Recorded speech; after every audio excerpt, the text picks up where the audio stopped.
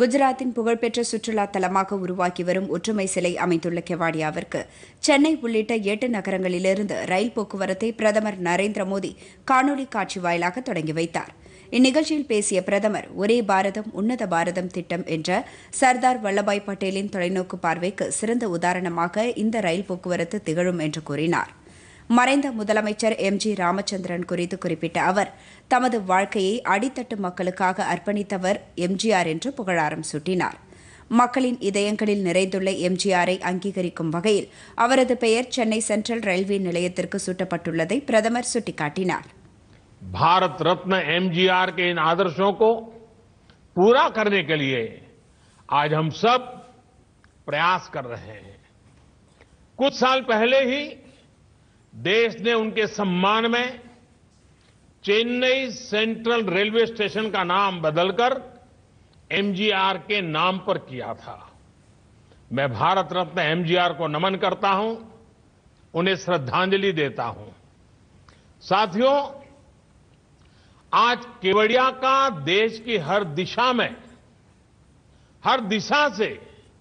सीधी rail connectivity से जुड़ना पूरे देश के लिए एक अद्भुत क्षण है அகமதாபாத் கெவாடியா இடையே இயக்கப்படும் எக்ஸ்பிரஸ் ரயில் வான்பகுதியை பார்வையிடும் வகையில் கண்ணாடி மேற்கூரையுடன் அமைக்கப்பட்டுள்ளதாக பிரதமர் தெரிவித்தார் இந்த ரயில் போக்குவரத்து மூலம் கெவாடியாவில் சுற்றுலா பயணிகள் எண்ணிக்கை அதிகரித்து அங்குள்ள உள்ளூர் பெண் கலைஞர்கள் உருவாக்கியுள்ள பொருட்களின் விற்பனை அதிகரிக்கும் என்று கூறினார் இந்த ரயில் போக்குவரத்து ஒட்டுமொத்த தேசத்தையும் ஒருங்கிணைக்கும் என்று அவர் கூறினார் और मुझे इस बात की खुशी है